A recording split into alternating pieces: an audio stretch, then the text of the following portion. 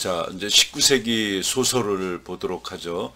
아, 19세기는 어떻게 보면 에, 낭만주의가 이렇게 에, 대두돼서 어, 워즈워드나 셸리, 바이런, 키처 같은 이런 사람들을 중심으로 시가 굉장히 초창기에는 발전했고 후에로 가면 또 소설이 굉장히 발전했습니다. 그래 지난 시간에 키츠를 시작한다고 그랬는데 키츠도 어, 어떻게 보면 낭만주의 아주 대표적인 시인이라고 볼 수가 있어요. 그래서 에, 키츠와 같은 에, 강의를 지난주 강의를 에, 원래 했던 강의를 한번 키츠에 내용을 자세히 했으니까 책으로 한번 여러분들이 보고 책에서도 확인해 보시기 바랍니다. 어, 키츠의 예는 97페이지 밑에 세 번째 있죠. 셸리 loved wild wind. 셸리는 아주 이렇게 거친 바람 이것을 좋아했지만 존 키츠 loved beauty and rest. 그 키츠는 아름다움과 휴식 이런 것을 사랑했다. A friend in 1813, 1813년에 어떤 친구가 gave him Spenser's Faerie Queene to read, 읽어보도록 스펜서의 Faerie Queene을 선물로 주었죠. 그리고 This awoke his poetic powers. 이것이 그의 시적인 능력을 어, 일깨워서 큰 시인으로 성공한 이런 시인이다. 그 다음 페이지에 보면 엔디미온이라든가 하이페리온 이와 같은 시를 썼다는 내용이 쭉 있죠. 그래서 에, 셸리의 에, 시의 내용들이 있는데 99페이지 중간쯤 보면 To a Nightingale, 나이팅게일이라는 시, 또 다음 줄에 보면 To Autumn, 가을에 또 On First Looking into Chapman's Homer, 제프먼의 호머를 처음 보고서 이와 같은 아주 유명한 주옥 같은 시들이 있어요. 또 99페이지 제루에 보면 Ode on a Creation은 히랍 항아리에게 ode는 노래라는 뜻이니까 자 이런 것들은 나중에 영시 시간에 쭉 한번 봐야 되고 이렇게 문학사 시간에는 이런 내용이 있다 하는 것만 알려주겠어요. 그 다음 챕터 10인데 챕터 10에는 후기 시인들이 나오는데 먼저 한 chapter를 건너뛰어서 한 챕터를 건너뛰어서 어, 115페이지 먼저 19세기의 소설가들을 쭉 한 다음에 짧게 후기 시인들을 공부해 보도록 하겠어요. 자, 먼저 우리가 여러분들의 책 135페이지, 5페이지인가요?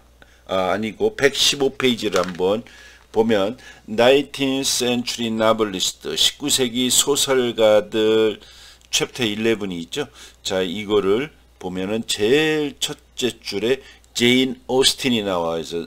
Though Jane Austen wrote his books in troubled years, which included French Revolution, her novels are calm pictures of society life. 자, 너 비록 주, 어, 제인 오스틴이 wrote her book in troubled years, 아주 힘든 시기에 책을 썼어요. Which included the French Revolution. 프랑스 대혁명이 포함되어 있는 그런 것들이 있었던 굉장히 힘든 시절에 소설을 썼는데 Her novels calm picture. 그의 소설은 어, 사회생활의 조용한 그림이었다. 그러니까 어, 전쟁이 일어났는데도 전쟁 뭐 이런 거 관심이 없고 자기 여자들 사이에 조용한 이런 것들을 다뤘다는 얘기겠죠. 들만 더 보면 she understood the importance of the family in human affairs. 그녀는 인간 사회의 일에 있어서 가족의 중요성을 이해했다. 그래서 아주 어, 남녀의 사랑 이야기, 결혼 이야기 이와 같은 것들을 많이 다뤘어요. 자, 그래서 어, 제인 오스틴의 소설은 Pride and Prejudice, 오만과 편견이라는 게 있죠. 우리 115페이지에 보면 위에 한 일곱 번째 Pride and Prejudice 또 Sense and Sensibility 이와 같은 유명한 소설들이 있어요. 그리고 115페이지 한 열 번째 줄 보면 Persuasion 설득이라는 이런 에, 소설도 있는데 이번에 뭐 영국 얘기 자꾸 해서 그런데 영국에 갔을 때 어, 어, 이 제인 오스틴의 박물관이 있더라고요. 어, 제인 오스틴의 박물관 그 어, 있는 그 앞에서 사진도 내 찍고 그랬는데 제인 오스틴의 박물관이 있는 데서 멀지 않은 곳에서 이 세상에서 가장 비싼 아파트들이 거기에 있는 것들도 보고 어, 오래된 어, 뭐 몇천 년 된 그 온천에서 물이 나오는 것도 보고 그 도시는 도시 재생으로 아주 어, 그 활기를 띠고 이런 곳이었어요. 그래 한번 여러분들도 영국 여행하면 제인 오스틴의 에, 한번 고향 같은 데도 한번 가봤으면 좋겠다. 자, 이 사람의 유명한 건 Sense and Sensibility, 오만 에, 감 감각과 감수성, Pride and Prejudice 이와 같은 영화로도 나와 있어요. 한번 여러분들이 115페이지에 있는 그의 책들을 한번 읽어봤으면 좋겠다. 영국의 위대한 소설 전통의 한 명으로 나타나 있는 여류 작가이기도 합니다. 중요한 작가죠. 그 다음 118페이지에 보면 어, 위에서부터 여섯 번째 줄에 월터 스코트가 있어요. 월터 스코트가 있는데 이 월터 스코트는 이름처럼 스코틀랜드의 작가예요. 어, 스코틀랜드의 작가이고 돈도 많이 벌었어요. 그래서 이 사람은 내가 보기에 최초로 영국 최초로 직업 작가, 소설가가 돼서 밥 먹고 사는 사람이 아닌가 이런 생각이 듭니다. 그래서 월트 스코트는 역사 소설을 많이 쓰고 아일랜드의 역사 뭐 이와 같은 소설을 썼어요. 그래서 이 스코트의 스타일은 이렇게 장황하게 이렇게 쓰는 이런 작가였다. 어디에 있어요? 118페이지와 119페이지에 있죠. 한번 또 보면 한번 보면 Before he turned to historical novel, 그가 역사 소설로 되돌아가기 전에 Sir 월터 스코트, 스코트 경은 wrote verse 시도 썼다. 그래서 시가 어떻다 이런 얘기가 이제 그 밑에 쭉 있어요. 자, 그가 소설가로서 어, 성공하고 그래서 Ivanhoe라든가 이런 그 어, 소설도 썼죠. 어디 있어 119페이지 한 중간쯤에 보면 근데 이제 지금에 있어서는 그렇게 에, 나, 어, 나폴레옹 보나파르트의 그삼 이런 소설도 썼지만 지금은 그렇게 스코트경에 대해서 연구하는 건 아닌 것 같아요. 그래서 네, 여기에 화면에는 띄워놓지 않았어요. 118, 119페이지 월터 스코트 얘기였어요. 어, 찰스 디킨즈인데 19세기 1812년부터 1870년까지 살았는데 이 사람은 뭐 19세기 최고의 소설가라고 볼 수 있어요. 어, 위대한 19세기의 가장 위대한 소설가가 어, 디킨즈다. 그래서 첫 번째 보면 19세기 대표 소설가이고 빅토리아조 소설을 완성시킨 사람이다. 영국 문학을 오늘날에 아주 유명하게 한 사람이 이 사람이다. 근데 이 사람이 이렇게 된 것은 인쇄술이 발달했고 재분술이 발달해서 소설이 많이 팔리게 됐다. 또 사파를 그리기 시작했다라는 것도 중요하죠. 어, 그리고 이 사람은 성격 묘사에서도 굉장히 뛰어난, 어, 뛰어났고 지금의 19세기의 영국의 모습을 거의 소설 속에서 잘 읽을 수가 있을 정도로 잘 묘사를 했다. 이렇게 잘 묘사하는 것을 영어로 very similitude라고 하는데 한자로 핍진성 있게 매우 자세히 묘사했다. 또 이 사람은 사회제도를 고발을 해서 사회가 바뀌어야 되지 않느냐. 그래서 사회의 어두운 면, 잘못된 면을 고발하는 이런 스타일의 소설도 썼다. 여기 열 번째 그런 얘기가 있죠. 자, 그 다음에 다양한 인물을 아주 어, 소설 속에 다뤘다. 그래서 이 찰스 디킨스의 또 위대한 소설은 뭐라고 그랬어요? 어, Great Expectations, 위대한 유산이라는 소설이 가장 대표적인 작품이라고 그랬죠. 굉장히 많아요. 그런데 위대한 유산이 예, 대표작이다. 그래 여러분들이 영화도 있으니까 위대한 유산을 한번 봤으면 좋겠다. 우리 책에서 한번 확인해 보겠습니다. 책으로 한번 돌아가 보죠. 어, 찰스 디킨스 120페이지를 읽어보죠. 중간에 한 열대 번째 줄. Charles Dickens is generally considered to be one of the greatest English novelists. 이제 디킨즈는 위대한 영국 소설가들 중에 한 명으로 이제 여겨지고 he is one of the few whose works did not become unpopular after his death.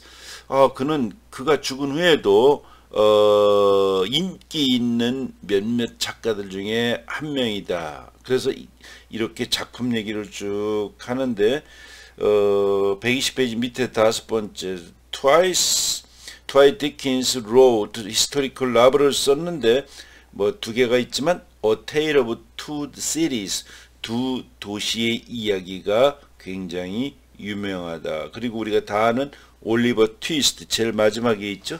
올리버 트위스트와 같은 작품도 썼다. 121페이지에 보면 위에서 두 번째 크리스마스 캐롤도 이 사람이 쓴 것이고 네 번째 줄에 어려운 시절 Hard Times도 이 사람이 쓴 작품이다. 122페이지 데빗 카퍼필드 있죠? 데빗 카퍼필드 자기 자신의 삶에 대해 근거해서 쓴 거죠. 세, 세 번째도 니클라스 니클비도 이 사람이 쓴 거다. 선생님이 지금 얘기하는 이런 작가들은 작품들은 굉장히 유명한 작품이에요. 자, 122페이지 가운데쯤 보면 Great Expectations 위대한 유산 이와 같은 것들이 있다.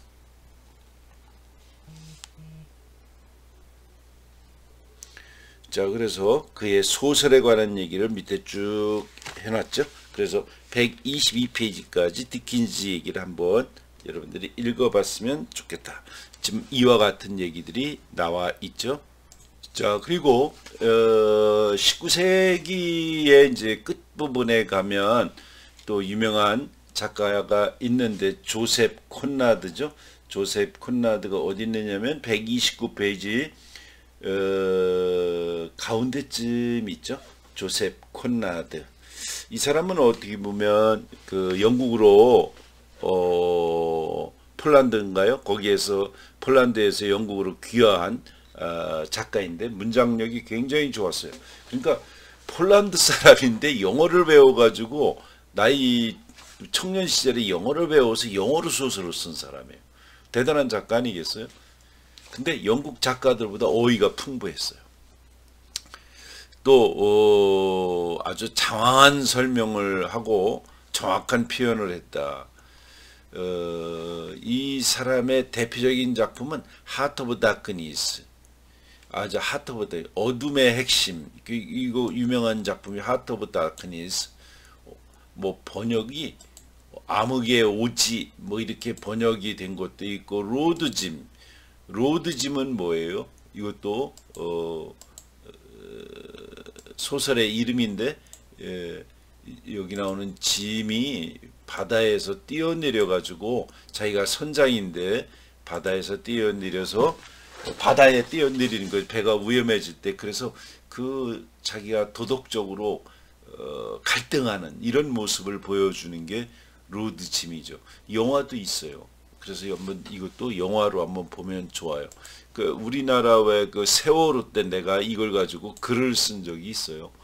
이 작품을 읽었기 때문에 이걸 가지고 어떻게 세월호가 저렇게 어? 어, 젊은이들을 내비두고 야 저런 짓을 할 수 있는가 아주 자괴감이 들었을 때 조셉 컨라드의 Lord Jim 한번 또 영화로 봤던 기억이 있습니다. 자 그래서 이 작가는 19세기 말 20세 19세기 말쯤에 폴란드에서 귀화해서 영국 소설의 어떤 지평을 넓혀준 작가라고 볼 수 있어요. 중간쯤에 보죠. 129페이지 중간쯤에 보면 He was born and brought up in Poland. 그는 폴란드에서 태어났고 폴란드에서 자랐어요. Knew little or nothing of England. 어, 영국에 대해서 전혀 아는 게 없어요. When he first visited it in 1878 1878년에 영국을 처음 방문했을 때는 영국에 대해 아는 게 하나도 없었다. Yet by 1884 그러나 1984년까지 1884년까지 he had uh, he had qualified as a captain British British ship. 영국 배의 캡틴으로서 이제 일을 했고 he 1895 1895년에 he produced his first novel in English 영국어 영어로 된 첫 번째 소설 알마이어스 폴리도 그때 처음으로 썼다. 자, 제일 중요한 건 어찌됐든 뭐다? 1900년에 딱 나온 밑에 있죠. 우리 저 화면에 보면 로드짐 이게 제일 중요한 작품이다. 바로 밑에 있는 Heart of Darkness도 아, 굉장히 유명하다. 또 Typhoon 태풍이죠. Typhoon과 같은 이러한 유명한 소설도 이 사람에게는 또 있다. 그래서 19세기 말 영국 유명한 작가다는 꼭 알아뒀으면 좋겠고요. 또 어떤 사람은 조셉 콘라드를 모더니즘의 작가로 분류하는 사람도 있어요. 또 이 시대에 가장 중요하다고 다 중요하죠. 토마스 하디가 있어요. 조금 키워볼까? 토마스 하디도 굉장히 중요한 작가죠. 이 토마스 하디의 대표적인 거는 뭐예요? 테스라는 거죠. 이 테스 영화도 있죠. 음, 영화를 한번 봤으면 좋겠어요. 이 토마스 하디는 원래 이렇게 건축을 공부했는데 이 건축을 공부하다 소설을 쓰게 됐어요. 그래서 그 사람의 그 소설 세계는 건축의 설계를 하듯이 아주 그 치밀한 구성을 하고 있죠. 또 이 사람의 대표적 테스를 보면 사람의 운명이라고 하는 것은 자기의 의지대로 되는 것이 아니다. 이 세상에 어떤 보이지 않는 힘 이런 것들이 이 우주를 구, 어, 구성하고 있는데 저 하늘나라를 보면 은하계가 있고 태양계가 있는데 그 수많은 어, 별들 중에서 지구는 점에 불과하는데 그 지구의 운명이라고 하는 것은 이 우주의 행성의 변화에 따라서 지구도 영향을 받는 거다. 그러니까 사람이라고 하는 것은 내 의지대로 되는 게 아니라 어떻게 보면 다 사주팔자가 있는 것 같다. 이런 생각을 가지고 있는 사람이 운명론이죠. 이 운명론자가 토마스 하딘지도 몰라요. 그래서 이 테스에 보면 이 여자의 비련의 주인공 테스는 자기는 정말 이렇게 살고 싶지 않았는데 알렉이라는 남자를 만나서 잘못돼서 인생이 이렇게 찌그러지는 자기의 삶을 보며 아주 그 비참한 최후를 맞는 예, 형장의 이슬로 사라지는 여자의 모습을 테스를 통해서 볼 수 있죠. 또 The Mayor of Casterbridge 캐스터브리지의 시장이라든가 주드도 없게 애매한 주든가 이렇게 번역이 되어 있어요. 이 사람의 작품도 굉장히 많이 번역이 되어 있는데 대표작은 테스라고 볼 수 있습니다. 그래서 테스도 한번 영화로 봤으면 좋겠다 하는 생각이 듭니다. 자, 이와 같은 사람들이 19세기 말의 영국 소설가들이었어요. 자, 넘어가려고 했는데 하디의 에, 설명은 131페이지에 있죠. In the novels of Thomas Hardy, nature plays an important part. 토마스 하디의 소설에 있어서 네이처 자연은 plays an important part 중요한 역할을 한다. Indeed, nature is herself a character. 오, 자연은 그 자체가 하나의 등장인물이다. 오, 그런 생각이 들죠. 여기서 어, 잠깐 나오고 마는데 중간에 보면 이태릭체로 또 Return of the Native 이것도 그렇죠. 이거 번역을 귀향이라고 돼 있죠. 귀향이라고 돼 있는데 그 선생님이 대학 2학년 때 이거를 어, 수업 시간에 이 책을 갖고 했어요. 그래 이 책을 너무 어려운데 영어 사전을 새카맣게 찾으면서 읽었던 소설이 또 Return of the Native인데 여기서도 주인공 유스테이샤 바이 유스테이샤가 어 가다가 뱀에서 물려 죽고 무어 황야 무어 황야의 그 어, moor 황야라는 거는 진달래 같은 그 철쭉이 쫙펴 있는 황야죠. 그 황야가 오히려 어, 소설의 주인공처럼 느껴지게 하는 멋진 장면이 나오는 것이 또 Return of the Native예요. 자, 우리나라에도 토마스 아디를 연구하는 사람이 굉장히 많습니다. 그래서 토마스 아디도 아, 여러분들에게 좋은 삶의 지평을 열어주고 체험을 하게 해주는 작가라고 나는 생각을 해요. 그래서 여러분들도 한번 영화라도 꼭 하나 봤으면 좋겠다. 이렇게 추천하고 갑니다. 자, 그 다음, 어, 그리고 19세기에 또 유명한 소설가들을 내가 잠시 빼먹고 갔는데 두 사람, 세 사람이죠. 샤롯 브론테하고 에밀리 브론테죠. 자, 이 두 자매인데 이 두 자매가 영국의 전통에서 위대한 전통에 서, 서 있노라고 영국 소설 전통이라는 게 있어요. 그 전통에서 중요한 작가, 영국에 얼마나 많은 작가가 있었겠어요. 그래도 영국의 뼈대를 이루는 전통의 정신이 흐르는 작가다. 이 두 자매예요. 샤롯 브론테하고 에밀리 브론테. 특히 이 제인 에어는 샤롯 브론테의 제인 에어가 특히 그렇죠.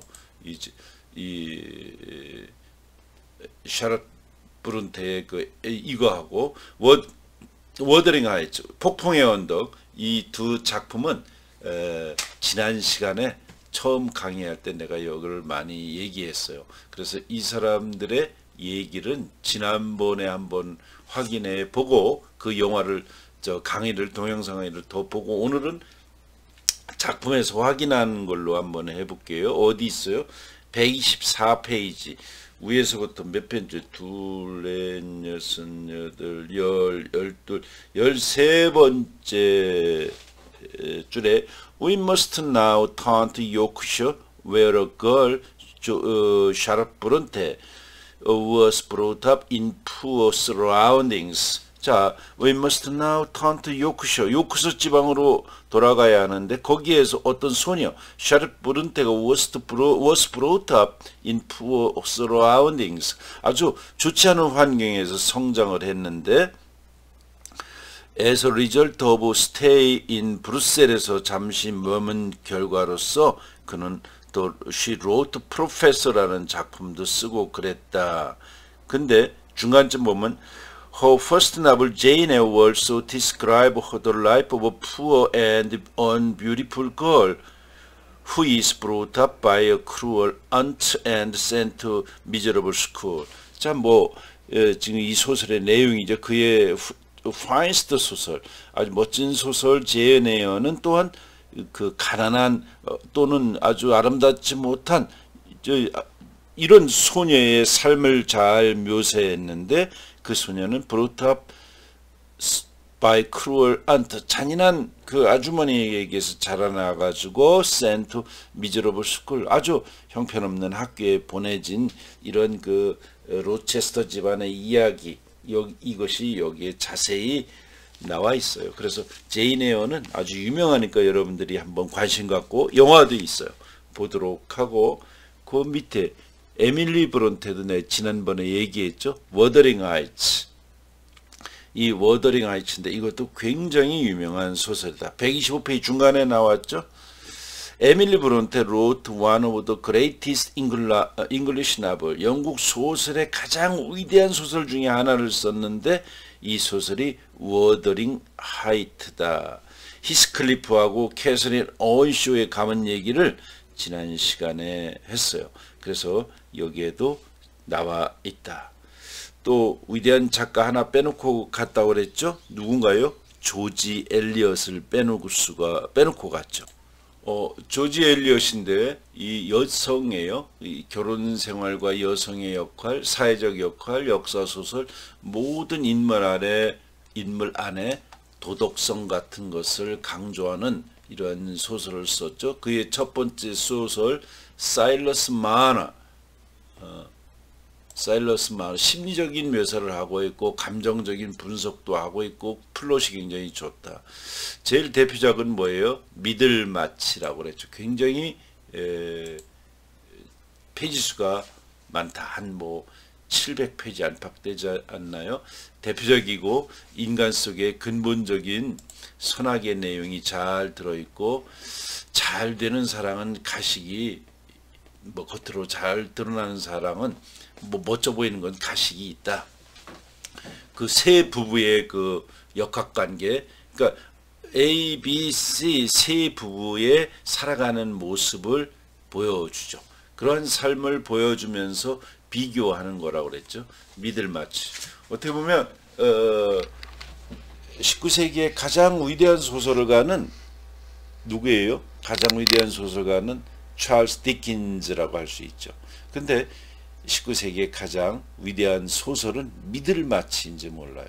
그 미들마치를 영화로도 나와 있고 지금은 번역이 돼 있는 것 같아요. 근데 예전에는 번역본도 없었어요. 너무 두꺼워서 한번 여러분들도 미들마치 잘 한번 챙겨 봤으면 좋겠다. 자, 그다음 자, 이렇게 해서 19세기 이제 중반 이후까지가 끝나고 우리 135페이지로 가면 Other 19th Century Prose 다른 19세기의 산문가들이 이제 나타나는데 위에 두 번째에 보면 두 번째 줄에 보면 찰스 램이 있어요. 엘리아 수필선으로 유명하죠. 두 번째 줄에 찰스 램 is well known for his essays of 엘리아 엘리아 수필선으로 굉장히 유명한 찰스 램이 나온다. 자 그러나 소설가로서 그렇게 지금은 유명하지는 않다. 수필로서 남아있으니까 별거 아니라는 얘기죠. 그 다음 토마스 칼라일 같은 사람이 136편의 이름이 있죠. 근데 지금도 토마스 칼라일을 공부하고 그러는 사람은 별로 없는 것 같아서 19세기에 이런 사람이 있었다는 것 알아두었으면 좋겠어요. 또 19세기에 어, 음, 또 어, 또 유명한 수필가가 있죠. 139페이지 보면 위에서 열 번째 줄에 보면 월터 페이터가 있어요. 어, 월터 페이, 페이터의 산문, 월터 페이터의 산문이 또 유명하죠.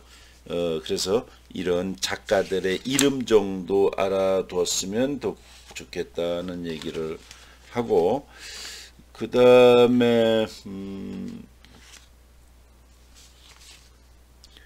쭉 넘어가서 어, 매슈 아놀드가 있어야 되는데 왜 안 보이죠? 매슈 아놀드가 19세기의 또 대표적인 작가였어요. 그래서 음, 루이스 캐롤, 어, 월터 페이터하고 매슈 아놀드가 보여야 되는데 내가 메모는 해놨는데 아 여기 140페이지 있죠? 140페이지에 보면 제일 끝에 매슈 아놀드 어, 이 사람은 시인이기도 하지만 시대의 선생님이었어요. 그래서 이 비평을 인생 비평이다 이렇게 얘기를 하고 그의 유명한 작품이 있죠. 어디 있어요? 141페이지에 보면 위에 다섯 번째 Culture and Anarchy 이 작품이 굉장히 유명하죠. He also criticized English social and politic, political life in Culture and Anarchy. 그는 이 문명과 어떤 그 아나키, 그 아주 혼돈 상태 이런 거에서 영국 사회와 정치적인 삶을 아주 비판을 했던 것이죠. 그래서 이 작품은 어, 굉장히 많이 읽히는 작품이니까 어, 컬처 앤 아나키는 머릿속에 여러분들이 에, 기억해뒀으면 좋겠다. 이렇게 해서 19세기가 이제 끝나가게 되죠. 그래서 우리 이, 이 이야기를 여기 내가 이제 마무리 해 놨는데 화면으로 돌아가 보면 Age of Contradiction 어떤 마찰의 시대다. 산업혁명 이후로 가속화된 영국 산업과 과학의 발전은 빅토리아 시대에 이르러 더욱 빠른 속도로 진행되었고 영국은 세계 자본주의를 이끈 선진 자본주의 역할을 충분히 수행하였고 국민들은 물질적 풍요를 누릴 수 있었다. 하지만 그렇다고 이 시대를 희망과 안정의 시기로 부른다면 누구도 인정하지 않을 것이다. 자본주의의 뒷골목은 더욱더 어둡기만 했고 그 속에서 노동자들은 취위와 노동자들의 취위와 굶주림은 어느 때보다도 더 심했기 때문이다. 자본과 노동의 격차 외에도 시대가 낳은 대립의 양상은 어디에서나 볼 수 있었다. 과학의 발전, 특히 찰스 다윈 이후 유물론의 가능성을 타진하기 시작하였고 종교의 갈등은 거세졌고 자유방임주의의 지속으로 부자들은 전혀 빈자들에 대한 가난한 사람들에 대한 배려 없이 불을 계속 축적해 가는 동안 지식인들은 그들의 속물근성을 질타하였다. 과학과 풍요가 다가올 20세기를 장밋빛으로 채색하리라는 낙관주의는 그 비극적인 종말을 걱정하는 비관주의자들의 우- 비웃음을 사야 했다. 자, 이러한 현상들은 방금 했던 아놀드가 지적하고 있듯이 정신적 안오미 의 원, 원인이자 결과이다. 양 진영의 대립은 사람들에게 수세기 동안 누려온 굳건한 신념을 박태해버리고 그 대신 세기말적 폐여주의 또 허무의주의를 심어주었던 것이다. 테니슨과 브라우닝의 시인은 당시의 이러한 분위기를 분위기를 썼지.